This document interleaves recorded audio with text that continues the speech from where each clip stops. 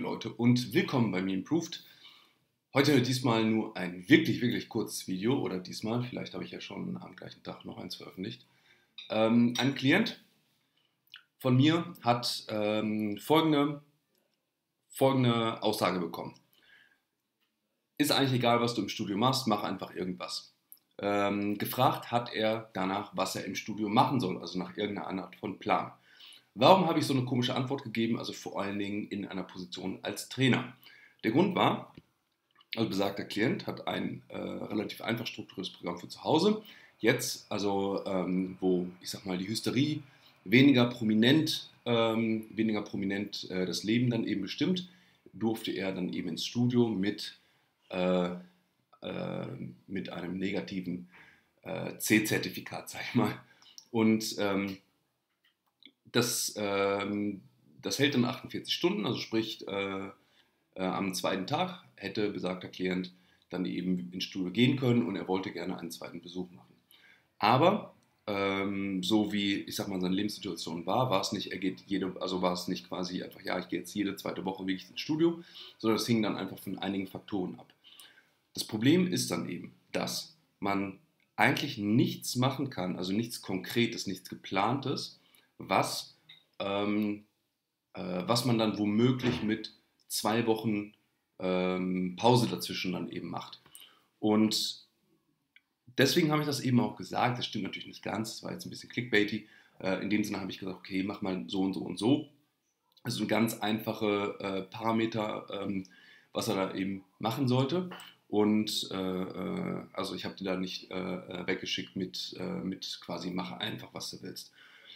Und warum, das ich, äh, warum erzähle ich das? Das Problem oder eine, eine Schwierigkeit ähm, bei diesem ganzen Lebenswandelskram, besonders aber, also besonders prominent ist es im Bereich Bewegung und Training, ähm, ist eben, dass man viele Methoden oder dass doch relativ viele Methoden in dem Sinne aus dem Profibereich kommen und dann äh, in den Amateurbereich einsickern. Und der Profibereich, oder der Leistungssport, der Hochleistungssport, der zeichnet sich durch Trainierende aus, die extrem regelmäßig irgendwelche Sachen machen. Also in einigen Bereichen sind die, äh, sind die genauso schippe Würmer wie wir alle. Also die, ähm, also was ich gehört habe, was hier äh, die Amin, also die Fußballer hier ähm, äh, essen. Also das ist halt das klassische, okay, nach dem Training gehen wir alle irgendwie in die Pizzeria und knallen uns halt Nudeln äh, äh, bis zum Anschlag rein, weil wir die Kohlenhydrate brauchen. Also so ist im Grunde das Niveau, zumindest ist es mein letzter Stand äh, eben äh, auch teilweise.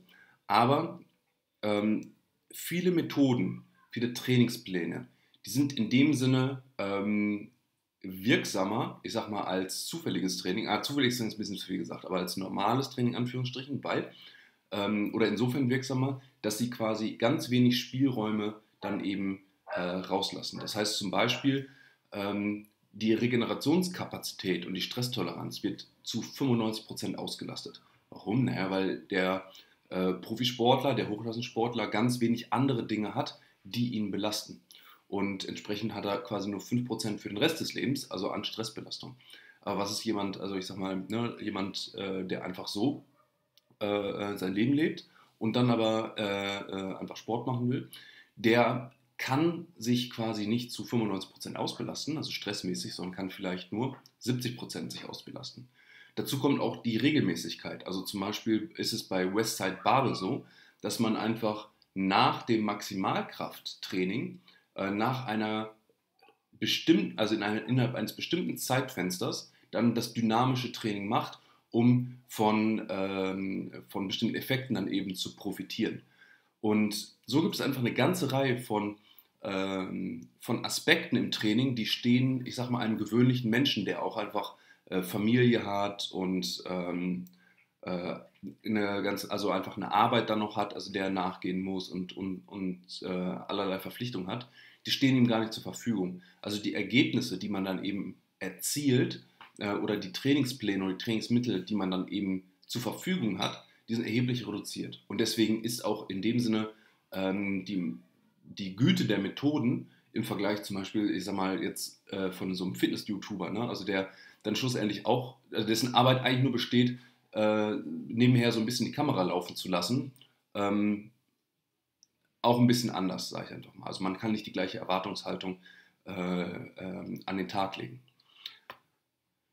Das war's von mir heute. Ich wünsche euch äh, einen Tag, bei dem ihr nicht so viel schwitzt wie ich. Oder vielleicht auch doch, ist ja auch gesund. Tschüss.